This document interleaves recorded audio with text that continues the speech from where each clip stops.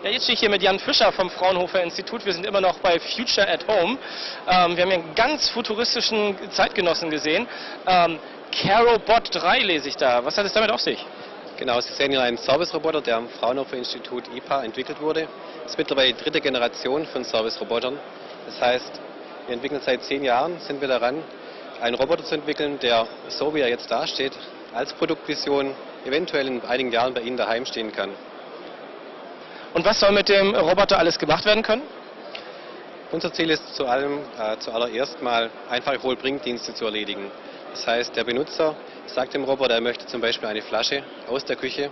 Der Roboter erkennt dann den Befehl, fährt in die Küche, greift sich die Flasche, stellt die Flasche aufs Tablett und bringt dann durch das Tablett die Flasche zum Benutzer.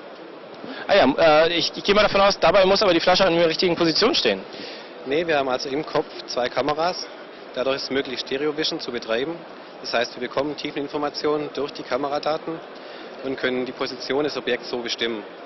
Es ist natürlich nötig, das Objekt vorher einzulernen. Das heißt, wir geben dem Roboter das Objekt in die Hand. Der Roboter dreht dann das Objekt und kriegt so ähm, ein Modell von dem Objekt, wodurch er dann später das Objekt wieder detektieren kann. Ist es etwas, was auch äh, mal den Weg in unsere äh, Heime finden soll oder ist es noch eher etwas Prototypisches nach dem Motto, das geht jetzt, das zeigen wir jetzt einfach mal?